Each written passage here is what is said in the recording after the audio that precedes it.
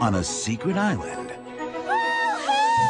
a girl named Nim lives with her dad and her amazing friends. Lizard, that's my sandwich! He's not Lizard. His name is Fred.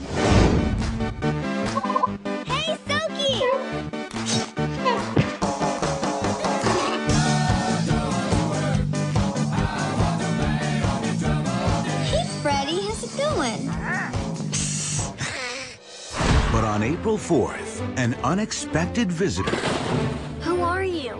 will discover their island. Who built this place? We did. And when Nim's dad gets in trouble, their search for him will be the adventure of a lifetime.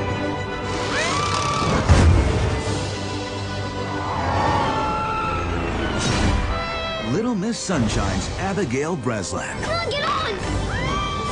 Jodie Foster, and Gerard Butler. Come on, he needs us! Nim's Island. I took a plane, I took a helicopter, I stole a boat. Ah!